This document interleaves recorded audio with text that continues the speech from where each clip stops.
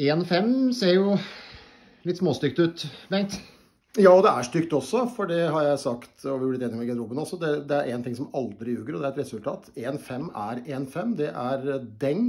Og så sa jeg også at uh, vi har bedre angrepstakter enn vi har hatt tidligere. Vi har bedre relasjoner.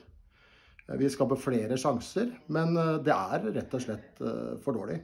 Så dette må vi lære av. Og, og de siste måla vi slipper inn, det er veldig sånn Det er sløvskap og, og slurv i sånn én-til-én mot uh, Modum-spillere. Åssen får vi bort det til serien starter? Nei, vi, vi, må faktisk først bli enige om at det er for dårlig.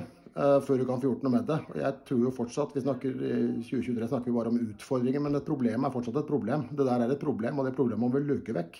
Men vi begynner jo ja, om vi ikke får dårlig tid, så må vi skynde oss litt. For uh, hvis det skal bli en slagkraftig enhet allerede fra runde én, som er 30. mars, så må vi skynde oss litt.